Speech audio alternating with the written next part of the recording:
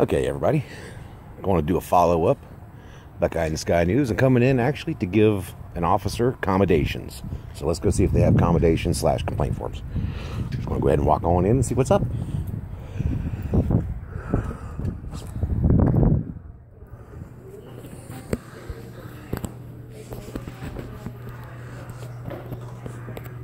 Must show ID.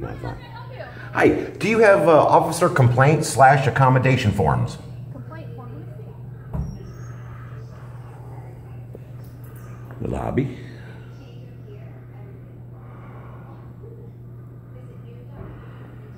Oh, Bexley covers a bigger area than I thought.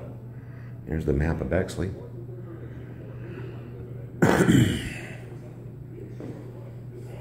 All the old police badges. Got a couple of those. Some information. We'll go check that out in a second.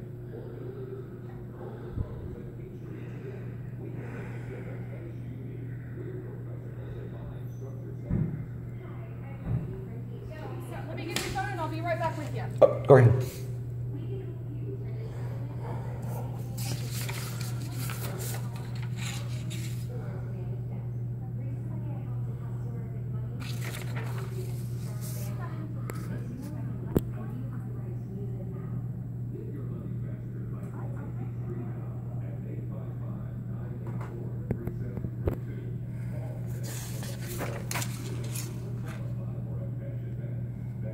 Alright, what else can I do for you? I'm sorry about that. Well, I was just wondering, is uh, um, I believe he's a Sergeant Kensick or Kennefic? Ken Kesnick? Kennefic. He's out.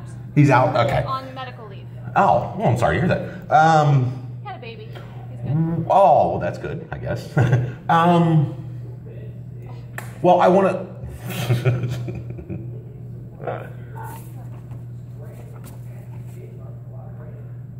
she looks pretty busy today. The only one in there.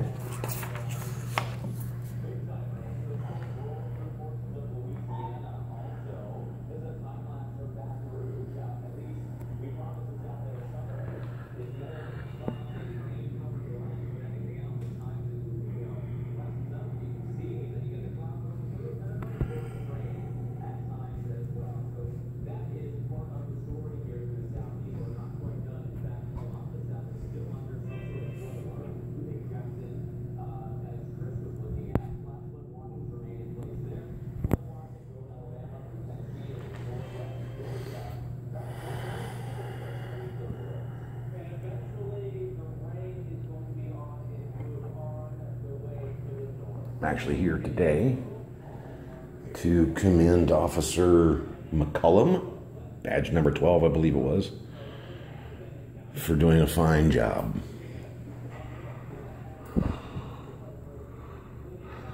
Youngstown, Ohio. Murder capital of the world for so long. I don't know if it's still considered that. It's at least the murder capital of Ohio. Uh, the story behind that is apparently uh, the um, mafia from Cleveland, and yes, there was a Cleveland mafia, had been run out of town basically. So they moved about 60 miles south and east to a little town called Youngstown and set up shop there.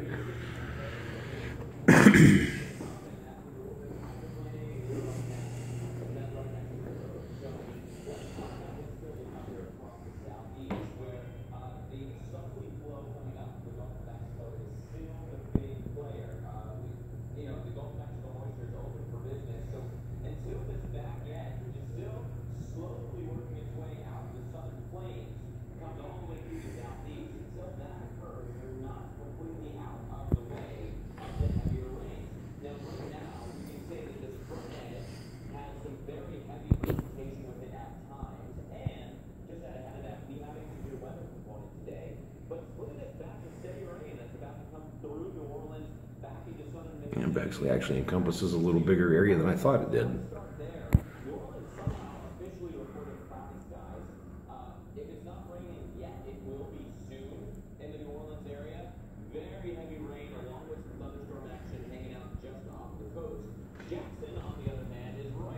They also have interpreting services available here. Showers remaining, but it looks like All these different will stay languages. If you're in the area, need something translated, apparently they can do that. Atlanta in and out of the rain with some stronger storms on the south side. And again, Portuguese, Romanian, Italian, has the potential Hindi, to go severe. French, Farsi, there's all kinds of them. The appearance, the shape of the Bengali, looking a little Arabic. bit More like the, the kidney bean, if you will, indicating some pretty American Sign Language, they do that too. in, in the atmosphere to organize those storms. Not the strong severe yet, but it's something we'll watch. So that's coming about. As in the past 24 hours, we had this Oh, that's fine. You look busy. I was just filming the lobby. Um, actually, I'm here to say what a good job an officer did. Is there somebody, uh, Officer McCullum, badge 12? Um, he is here today. I can Is- give you the on-duty sergeant since Ken fix out. Would you like to talk? Yeah, I was hoping for a complaint slash accommodation. Some people, places have all in one. Yeah, Yeah, give me one second. absolutely. Thank you.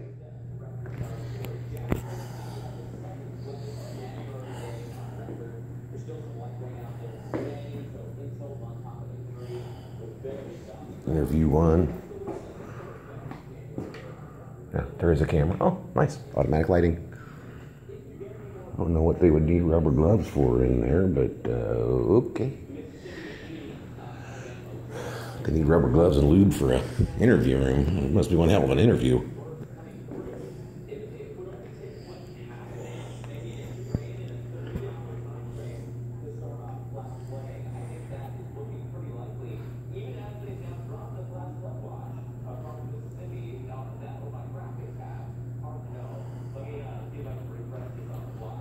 Looks like everything's in good repair here. They're taking good care of my building. And they, oh, good, they do have a restroom. Because somebody drank too much coffee today.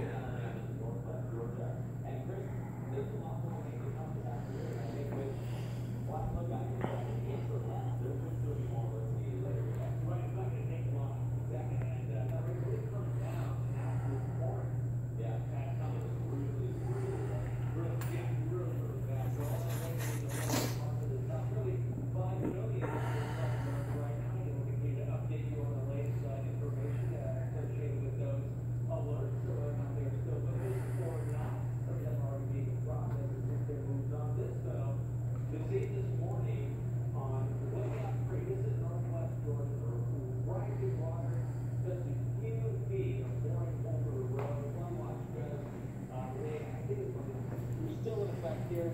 Yeah, the extreme northwest part of Georgia still have, uh, has a, a flood watch here in effect. Uh, let's talk about this, the, the flood. Whether Ooh, doggy. watch, the, the conditions are there. Coming in off the Gulf. Gonna bring us some rain. cut localized problems You know. feet on the road. With the activities to the south.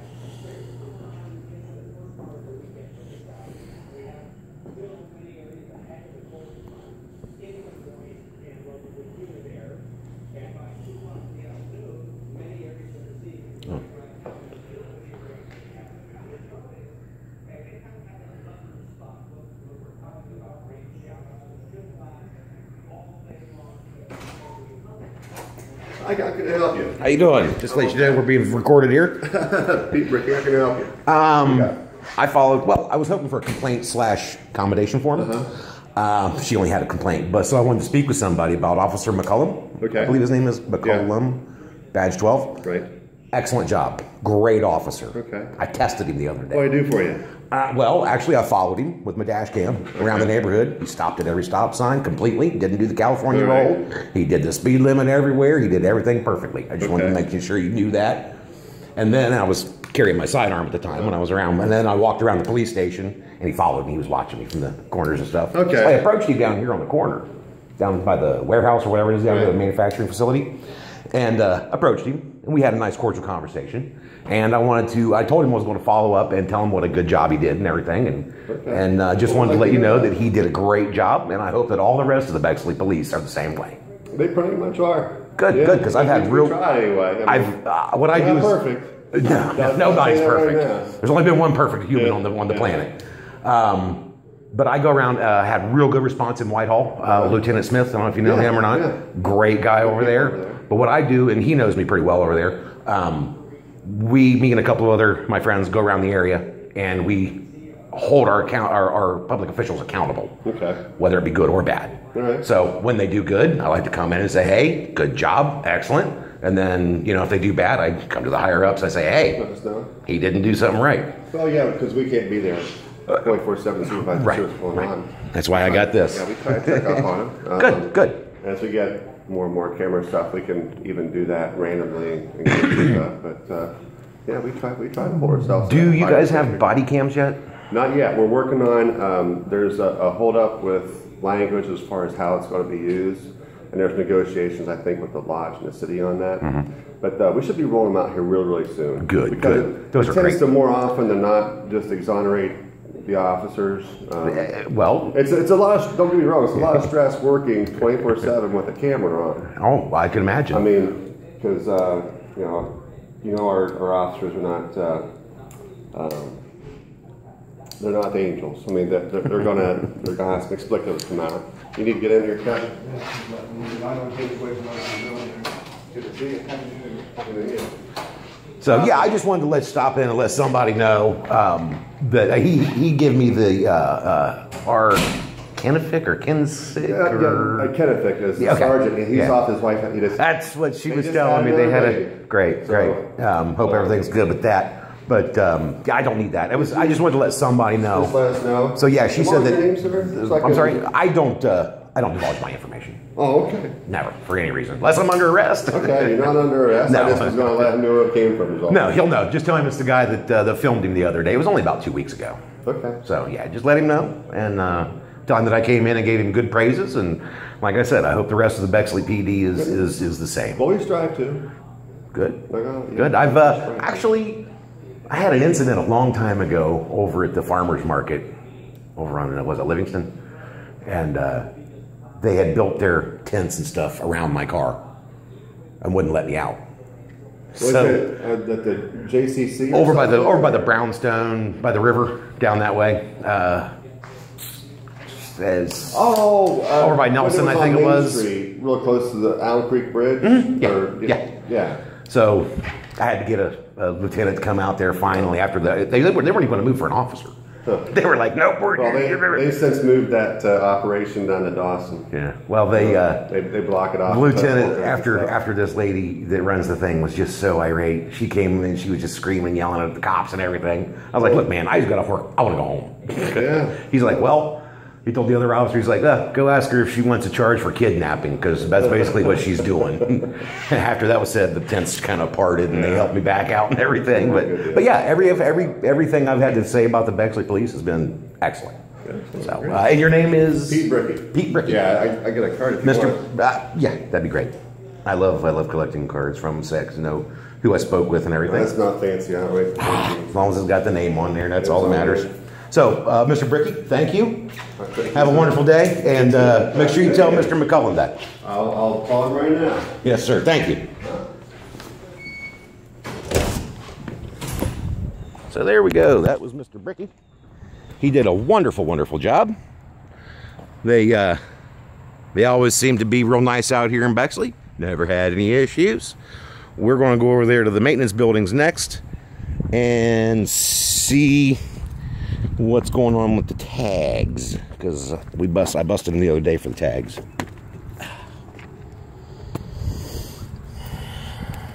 Oh.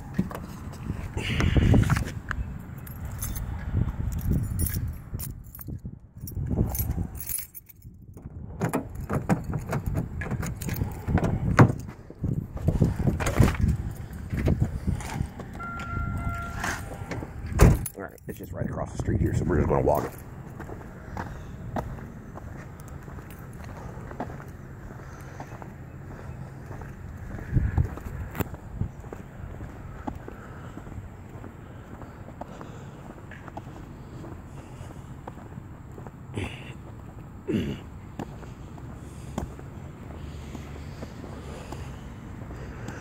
I'm glad it quit raining. I was a little concerned about coming out here and doing this in the rain. Didn't want my phone to get wet. So I don't know why this guy's parked here, but uh, we're gonna find out.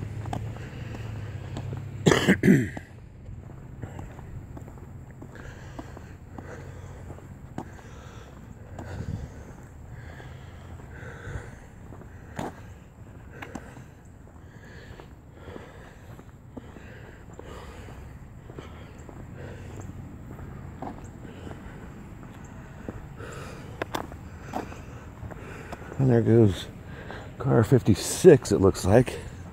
57 zipped around here just a minute ago when I was pulling in.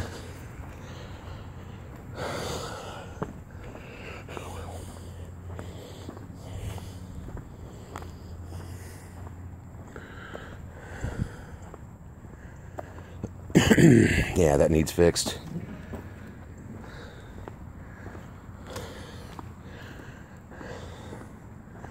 This is one I saw the other day. It's really bad.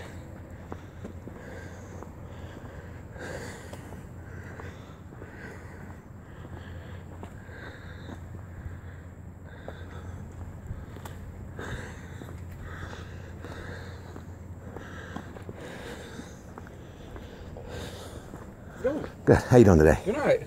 Hey, is, uh, is there somebody in here I can speak with? Oh, I'm just picking something up. Oh, okay. It's okay. I thought you worked here.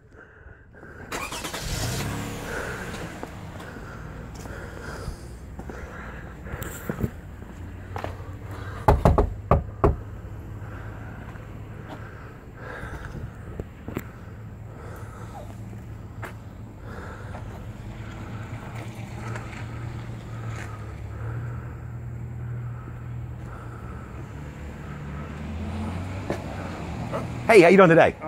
Um, is is her name April? Is she like the manager over this division? No, Who's the manager over this division? uh, that'd be probably Brandon, I guess. Is he available? Uh, let me see. Okay, thank you.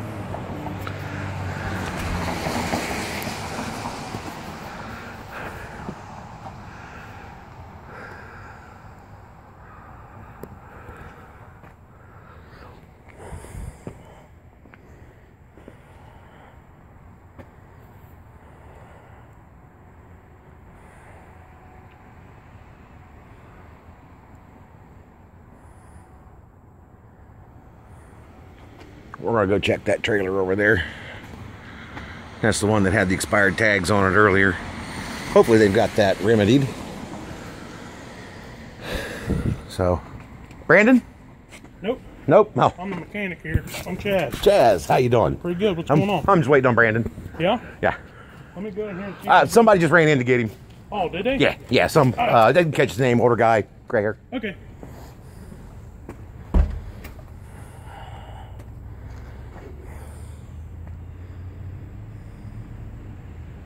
Running up on the 18 minute mark. Not too bad.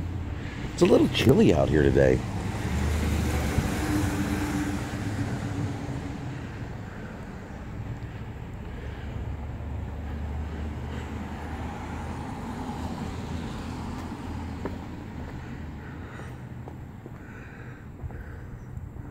We're on Delmar Drive.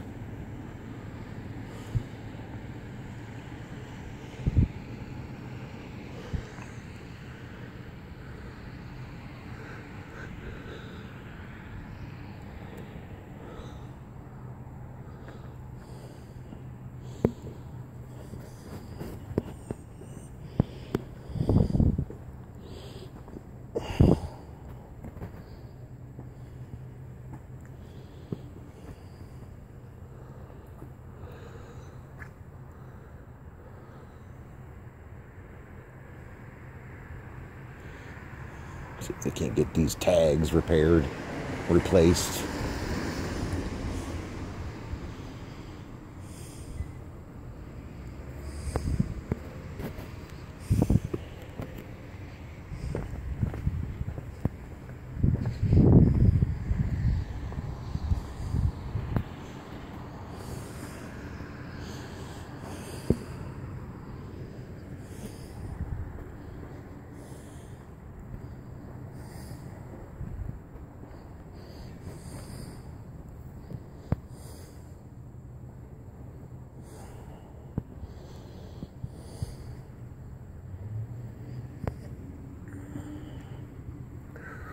waiting on Brad.